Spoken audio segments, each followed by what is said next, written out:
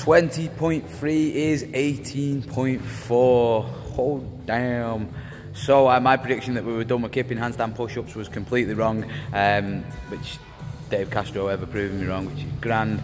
Um, but anyway, guys, so first things that, that I, I want to cover. Um, when to be here, anytime after three o'clock, anytime before seven o'clock. Tonight, it's 80s theme, bring, you, bring your glow sticks, bring your, uh, bring your tracksuits, bring whatever you need.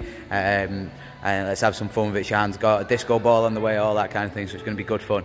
Um, with regards to the workout itself, obviously you can complete it on Sunday as well, um, anytime from 11.30 to 12.30. Um, I think there's a couple of people going tomorrow, but that'll hopefully just be coaches and judges. Um, so, tips and tricks, how to do the workout, what to think about. Um, obviously, the workout being 20 point, uh, 20.3 being 21 deadlifts, 21 handstand push-ups, 15, 15, 9, 9. Then on to heavier deadlifts, uh, 21 with a 54 handstand walk. Um, so that's the workout. Look, here's one I prepared earlier. Oh, it's backwards. That's not good. Should we? Ah, well, you get the drift. Um, but anyway, guys, so um, first things that you need to be aware of is your capacity for each of these movements. Um, know what you like on deadlifts. Um, don't be tearing through. Uh, in fact, nobody should be going unbroken on this. I was going to say don't go unbroken. It's a bad idea um, unless you're really good at them. But they're like the only people going unbroken on this will be Frasers, those, those kind of people. Um, everybody else should be conservative um, and don't think of the workout as Diane because it's not. If you want to get to that heavy bar, you've got to tear through it.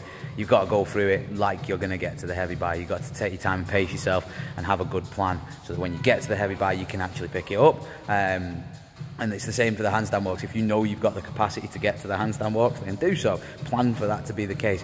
Deconstruct the workout, work backwards and think of it like that. Um, uh, and crush it, uh, enjoy it. Now, um, one, another thing I want to mention is the handstand push-up standards are nasty. Um, they're pretty tough to get you uh, to, to, to meet. Um, you, a lot of you won't be used to it. Um, and like um, we genuinely had people walk out of the gym and never come back after this workout last time it was on. Um, so set your expectations before you come in, guys. You, like it, it's a tough standard. Don't stress out too much about it. Um, come in and practice it first and foremost. Get measured up uh, and give it a go. Um, with regards to getting measured up, the way the workout's going to run, as you can see, we've got uh, I've got five stations out at the minute. There will be six. Um, and we're going to run three people at a time. We're going to run three people at a time so that while three people are going, the next three people can be being measured up and getting ready to go. Um, we're going to try and run that pattern all night to keep it nice and smooth and make sure that we're not here all evening. Um, so yeah, uh, final thing with the handstand push-up standard because that's probably the main thing that you've got to be concerned about. Um, get used to as you when you, in your warm up, get practiced at when you kick into your handstand, bringing your feet together and pointing your pointing your heels up to the ceiling, your toes towards the floor, so that you're not pointing your toes like a pretty gymnast. You're pulling them down. That's the main thing I can think of. To be honest with you guys, there's not that much. Uh, other than that, break things up sensibly, have a plan going into it. Um, be smart. It's not Diane. It looks like Diane. It's not. Um, break it up. Be, be clever, um, and then get to that heavy barbell. Um, it's worth all the reps if you get there. Obviously, if you've not got, um, sorry, I should mention scaled options. If you've not got a, a 70 kilogram deadlift, it's nothing to be concerned about, or a 100 kilogram deadlift for the guys.